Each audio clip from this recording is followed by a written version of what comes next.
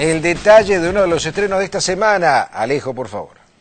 Hablamos de y El hombre sin miedo, que ya les quedó clarísimo que me gustó mucho, y tiene, estamos hablando de un western que no viene ni de la mano de Sergio Leone, tampoco viene de la mano de John Ford, sino de un director argentino, de Fernando Spinner, también con escenarios naturales argentinos y con una historia gauchesca, si se quiere, pues está basado en un cuento de Antonio Di Benedetto. Nos acompañan precisamente dos de los personajes clásicos de cualquier western. El bueno, Nazareno Casero. ¿Cómo te va, Alejo? Aquel que está buscando la venganza durante toda la película, y el malo, ese al que precisamente es el destinatario de la venganza Claudio Rizzi. Sí. ¿Cómo estás? Bien, bien. Hasta cara de malo trajiste hoy, te digo. Hoy me traje la cara de dormido, vengo de Seiza, este, estaba lindo viajar hoy. Sí, me imagino. Sí, los seis kilómetros, ven bien, digo por donde vine yo.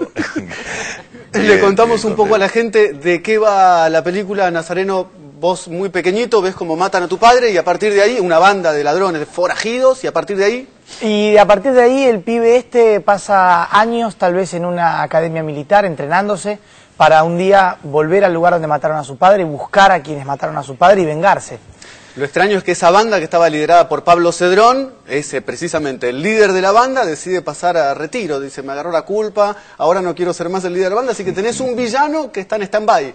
Y el que toma el lugar es tu personaje precisamente. Sí, el muerto. Desatado, este, sí, bravísimo. Sí, me, me, encantó encarar, trabajar ese personaje. Era, si bien eh, estoy habituado a ser villanos con esta cara de bebé, eh, pero este en particular tiene unas características muy, muy especiales, no, no, no es cualquier villano. Hablando de trabajo, ¿cómo fue ponerse las órdenes de, Fernando Spinner cuando lo llama y le dice, ¿qué les parece si hacemos un western en Argentina? ¿Qué, pensaron ustedes? Primer, primera idea que les surgió. A mí me encantó la idea, me encantó la idea de, de, ¿no? de ser bizarro, entre comillas, de ser gallardo, de ir a, una, a un género que tal vez no estaba eh, explotado o que tal vez estaba olvidado en el, en el cine argentino. Eh, hice tuve que hacer unas audiciones, que fueron los ensayos, y la verdad que eh, fue muy fiel lo que me presentaron al principio de lo que terminó siendo el resultado, ¿no? que muchas veces en, en, en el trayecto se pierden y se cambian muchas cosas.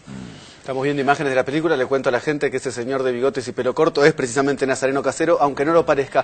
¿Y cómo fue trabajar en una película casi permanentemente a caballo? ¿Tenían alguna idea previa o fue vamos a aprender? Eh, yo sabía andar de muy pequeño a caballo, pero, pero esto, si bien no se olvidan cosas, eh, andar a caballo una vez cada 10 años este, te puede quedar el que te jede un poco mal en, carne viva. Para lo cual carne viva es bravo. Sí. Bueno, pero, para un villano pero literalmente te, sucede. No, pero, pero literalmente suceden esas cosas.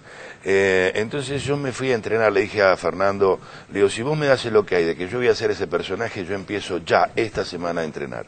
Entonces me fui a entrenar tres meses. Luego vino NASA porque me preguntaron, che, negro, ¿te parece que los chicos pueden andar con un par de clases? Un par de clases no sabemos ni a dónde vamos a andar, ni con qué caballo, ni no conocemos el terreno. No, eh, y vamos a tener que andar al lado de gente que anda a caballo, de, que son de a caballo, que son los indios Amaicha. Además de Pablo Cedrón, que también es un hombre de a caballo. Y que se ve que lo maneja bien. Sí, sí, sí. ¿Y vos, Nazareno, cómo fue que lo pudiste manejar? No, los caballos para mí eran perros grandes en su comienzo. Y ahí tuve que familiarizarme, porque más que algún paseo en, en Villa Carlos Paz, alguna cosa así no había hecho. Pero te zarpaste cuando lo, montaste a yeso. Bueno, eso te iba a decir, si él lo ve como perro grande, él está siempre con su perrito, es más, eso está por acá abajo. Le puso una montura y arrancó con eso. Yo tenía, no, yo, andaba a caballo con el perro acá. Es que una cosa que es que el perro no lo seguía al caballo, lo mordía, lo quería morder, entonces tenía que, y, que llevarlo vos. subirlo, claro. Perfecto.